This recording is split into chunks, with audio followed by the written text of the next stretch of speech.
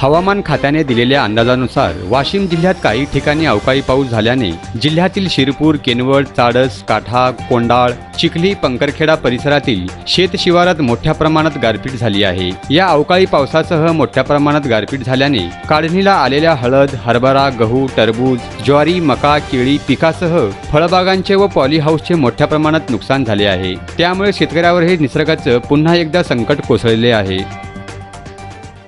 मी सुरेश गोपाळराव गवळी.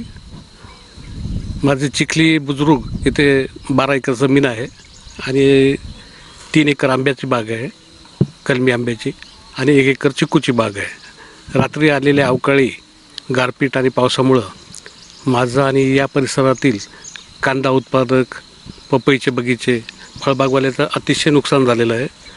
आणि हे भरून न येण्याजोगं नुकसान आहे. आणि याची शासनाने दखल घेऊन सर्व शेतकऱ्यांकडे लक्ष द्यावे याच्यासाठी हे निवेदन देत काल वाशिम जिल्ह्यामध्ये अवकाळी पाऊस आणि प्रचंड गारपीट झाली. यामुळे शेतकऱ्यांचे हाती आलेले पिकं हे उद्ध्वस्त झालेले आहेत. प्रचंड प्रमाणात शिरपूर असेल मालेगाव असेल कारंजा मंगरुळपीर अनेक तालुक्यांमध्ये आणि वाशिम तालुक्यामध्ये तर बऱ्याच प्रमाणात गारपीट झालेली आहे.